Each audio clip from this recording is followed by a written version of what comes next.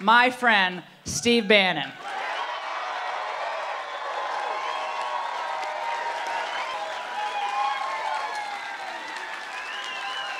This movement's made up of folks like yourselves. It's working class and middle class people. Seven of the nine richest counties in this country surround Washington, D.C.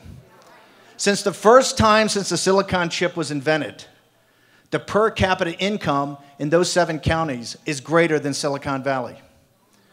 They have a business model that works for them. This is the consultant, lobbyist, donor, corporatist, and politician class. And the only way that we're going to tear this down is with people like our great president, Donald J. Trump.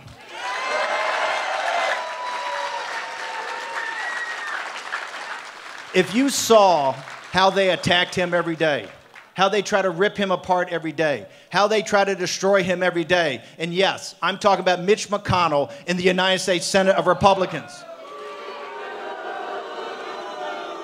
Have we ever had a commander in chief with people on the Armed Services Committee and people on the Foreign Relations Committee that say the types of things they say about Donald Trump? Is that acceptable to you, the people of Arizona? Do you think something has to be done about that? So tell me what you want to do. It's an open revolt, and it should be. This revolt is going from Alabama to Arizona. The last couple of days, Mitch has been saying this big thing hey, you got to win. You know, uh, winners make policy, losers go home. Hey, Mitch, note to self, Mitch, Big Luther Strange and little Bobby Corker are both going home. These people, Mitch, it's two to oh.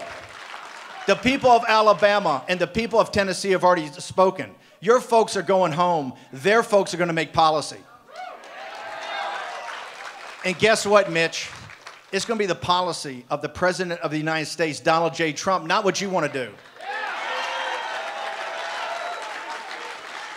I would love to tell you people we could wave a wand, and it's all going to be good. It's not.